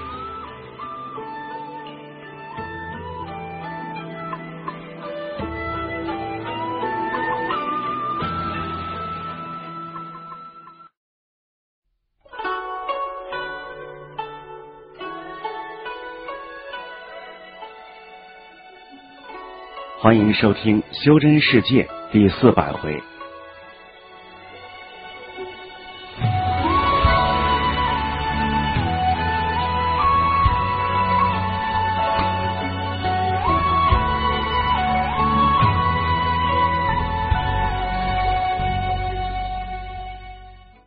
接着查到了，这支战部是屠夫魏营。朝玉禀报道：“啊！”曾毅捕捉到朝玉声音中的那一丝颤抖，他不禁有些惊讶呀。他可是很清楚自己这位手下的，素来呢是心黑胆大，能让朝玉如此失态，那肯定不是一般的货色呀。屠夫魏营，曾毅玩味着，有什么来历啊？不知道。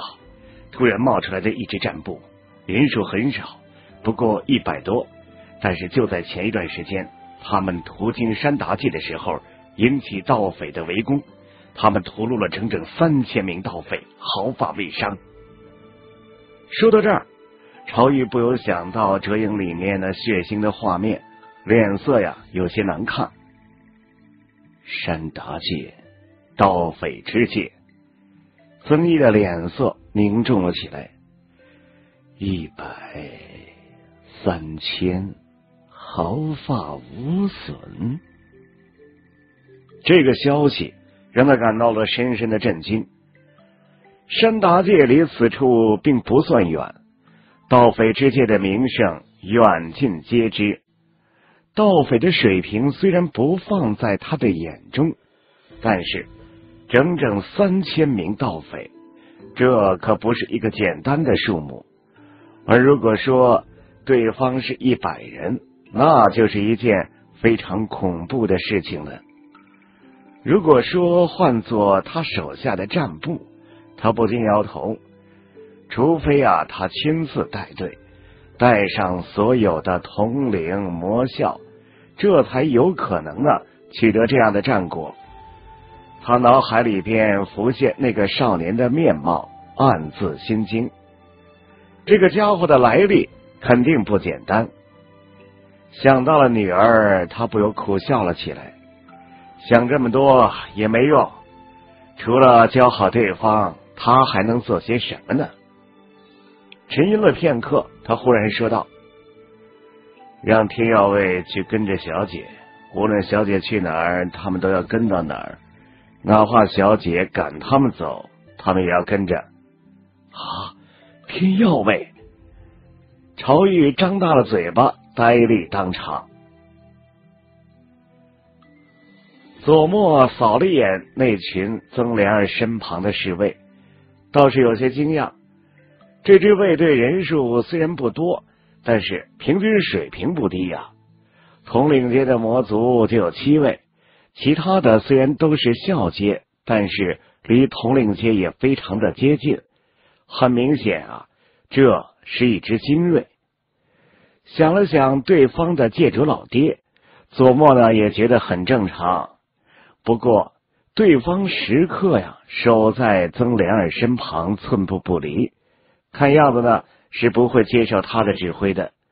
左墨也不介意，他巴不得这曾莲儿啊离他远一点他对这个看不透的漂亮女人呢是莫名的戒备。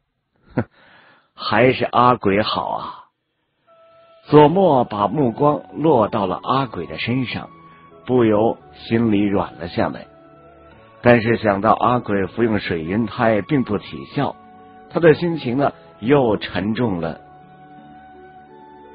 蓝人和龟岛之间布置了传送阵，来往的极为的方便。树龙这次来支援佐莫，恰好啊有蓝人送来的水云胎，便随身带来了。蓝人有特殊的手段，能够采摘水云胎而药效不减。但是阿鬼服用之后，虽然说眼中啊多了份生机，但是却并没有什么起色。他体内的神力非常的诡异阴狠，几乎呢把阿鬼的神魂封绝开来，而水云胎也很快的被他蚕食一空。不知不觉当中呢，阿鬼的神力竟然又增长了一丝。不能再拖下去了，都恢复了吗？左墨问树龙：“都恢复了。”树龙脸上带着几分喜色。有六名苦卫晋升了，还有一名花妖晋升。另外，南月小姐也完成了晋升啊。这些苦卫呢，都是从卫营里边精挑细选出来的精锐。这次征途虽然艰险，但是一旦硬撑过来，收获之大，让他们受益匪浅。南岳接受左默的指点最久，几个人之中啊，实力也最强。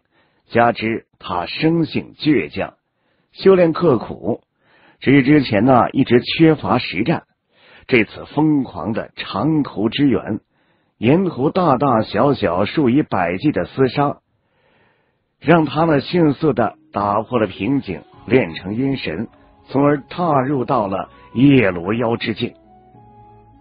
祖母也不由得流露出了几分喜色，实力每多一分，对他们而言呢，把握便更多一分。魏营之中，原本只有树龙和阿文两个踏入统领阶，如今多了六个人呐。而野灵本身就是统领阶，加上一名刚刚晋升的花妖，还有南岳，如此算下来，左墨的队伍里边拥有了整整十一名统领阶。在一个百余人的队伍当中，竟然有十一名统领阶，还有一名将阶，剩下的是清一色的小阶老手。这样的队伍绝对称得上是实力强悍的。寿平一直在观察这支声名显赫的战部，不，也许用凶名显赫更合适一些。身为天耀卫的首领，寿平本身呢就是白银战将，也是曾毅的左膀右臂。但是啊，寿平每一次观察这支战部，他都不由自主的从心里深处微微的战栗。在这之前呢，他对自己带队的水平啊极为的自信的。也正是他的苦心经营，才有如今的天耀位。不要说在碎石界了，便是在附近几界，天耀位那都是名副其实的第一战部。网每日内容持续更新，超酷声音尽在创新网，三 w 点听八五点 com。人比人得死，货比货得扔啊！在他眼中第一的战部，一站到别人的面前，就像个一群那穿着耀眼衣服的草包。之前寿平还有一些怀疑一百图三千的真实性，但是真正看到这支战布，他完全没想法了。哼，这样的战布，别说三千，说不定啊五千都有可能啊。对方的纪律之森严。素养之高，简直说是骇人听闻呐！他从来都没有听说过哪支战部在休息的时间，竟然还能按照战队的队形，任何一点空闲的时间，他们都会自发的修炼，完全的就不像他每天得守在天耀卫的营地监督修炼。他们就像是一群呢永远饥渴的野兽。永远不知停歇，永远不知疲倦。寿平真的吓到了，不光是他呀，天要卫这些平时眼高于顶、趾高气扬的家伙，全都吓到了呀。一开始呢，他们被寿平告诫不得滋事，心里呢还有几分不平衡。但是待了两天，看到魏营这群强悍的不像魔族的家伙。他们彻底的没脾气了，那股杀气啊，光是眼神就让人心里瘆得慌。反倒是曾莲儿呢，相当的平静，每天按时修炼，不闻不问，悠闲的喝喝茶，吃吃点心，俨然一副远足踏青的模样。寿平汗颜之余，对小姐的佩服之情油然而生。果然是虎父无犬女啊！大人的基业以后肯定还是要交到小姐的手上的。左墨呢，没有太理会天耀卫，他的眼界啊，早就被小娘他们养刁了。天耀卫的水平实在不被他放在眼中。他转身看了眼远处，那个方向呢是碎石镇的方向。他曾动过念头把东子和卡卓带上。但是想了想，这行凶险，一个是淳朴少年，一个没有任何自保能力的幻文师，左墨还是把这个念头给打消了。出发吧，左墨淡淡的说道。费雷，你真的要走了？少年们有些不舍的看着对方。费雷伸出了布满伤痕的手掌，摸了摸其中一位少年的脑袋，笑道：“我有我的使命。”使命，少年们稚嫩的脸庞有些疑惑。嗯，不得不去做的事情，这个就是使命啊。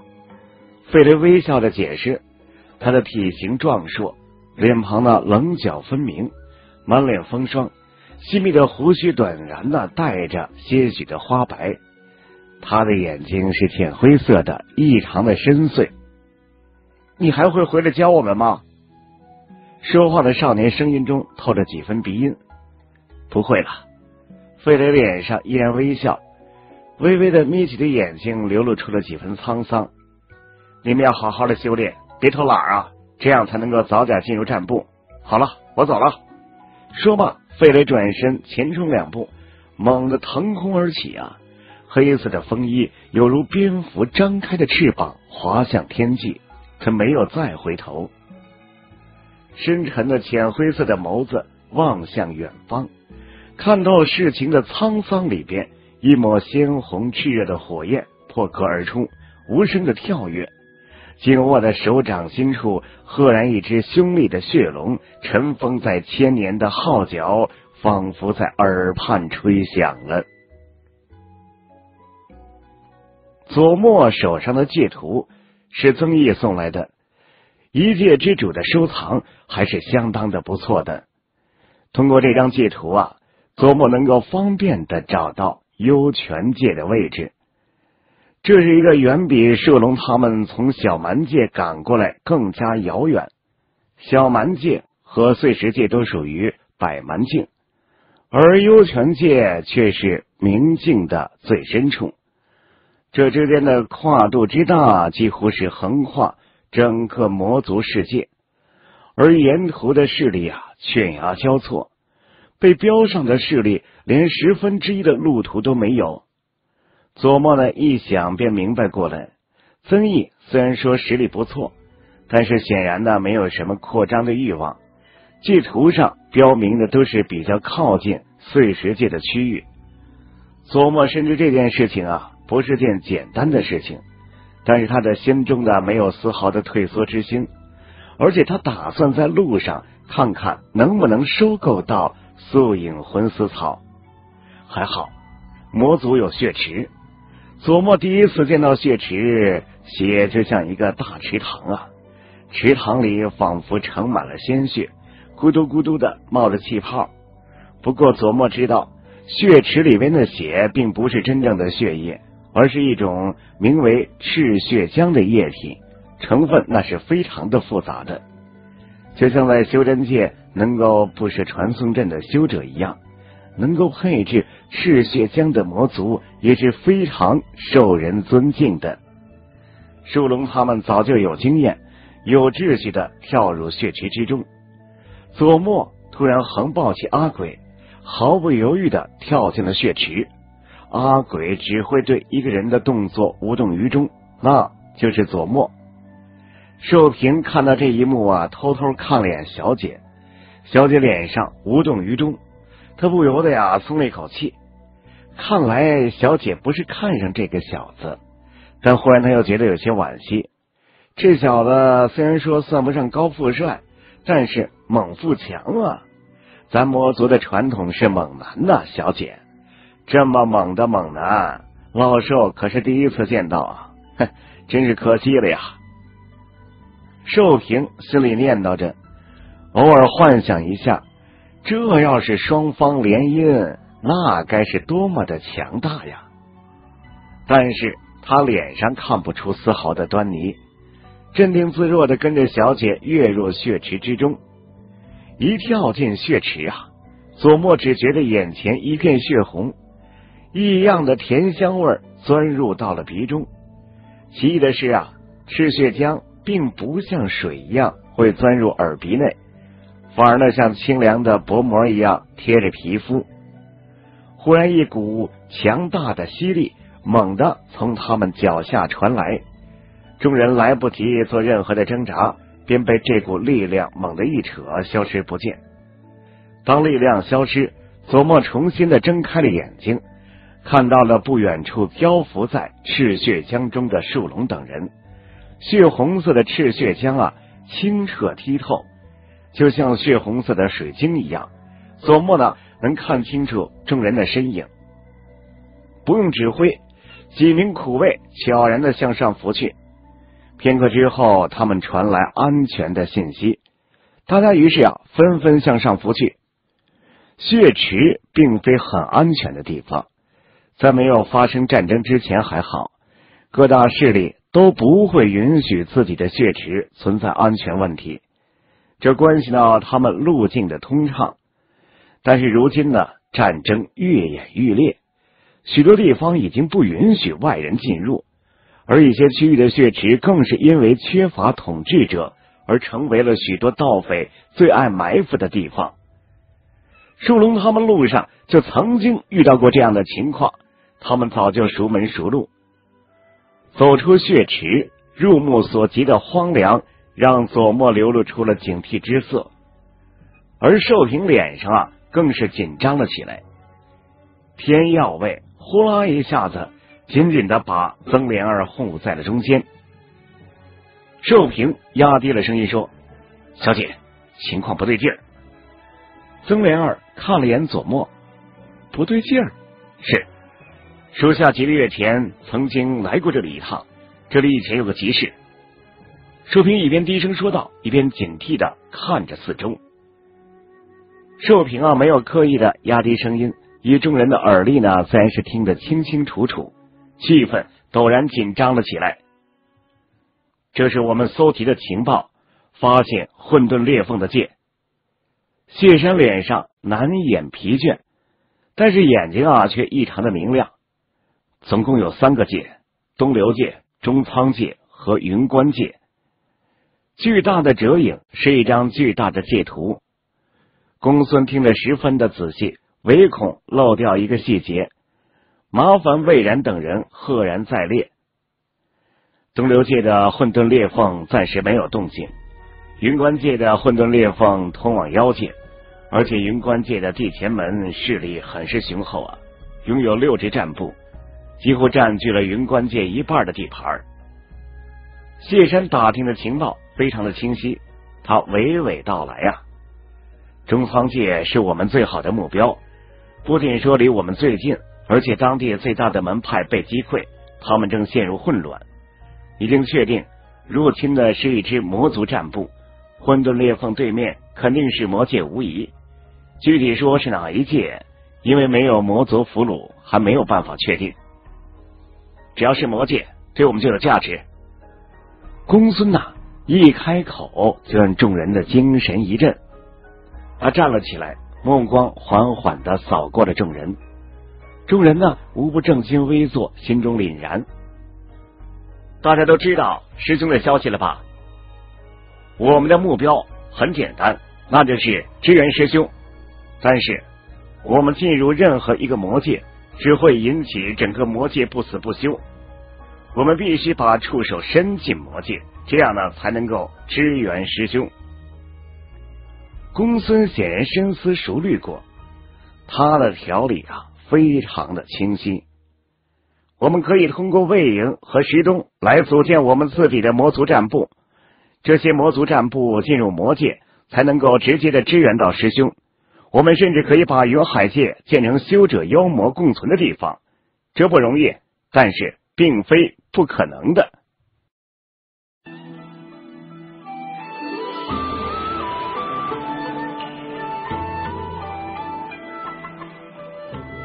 欲知后事如何，欢迎各位继续关注收听《修真世界》第四百零一回。